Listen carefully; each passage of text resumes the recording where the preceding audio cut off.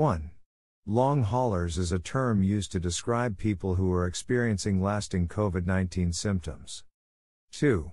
A study conducted by doctors from Geneva found that 32% of study participants reported at least one or more symptoms 30 to 45 days after their initial COVID 19 diagnosis.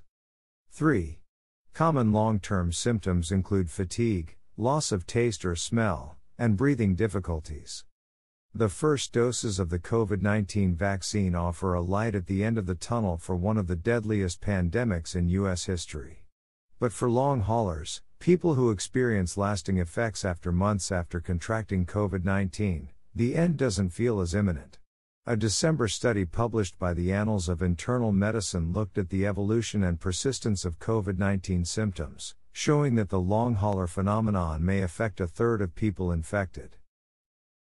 Genevan physicians analyzed results from 669 study participants, including healthcare workers and hospitalized patients. The study found that a loss of taste or smell was common early on.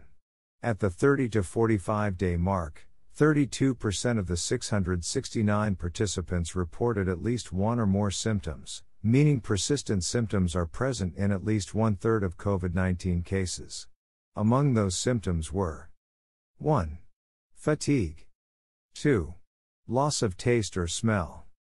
3. Shortness of breath. 4. Cough.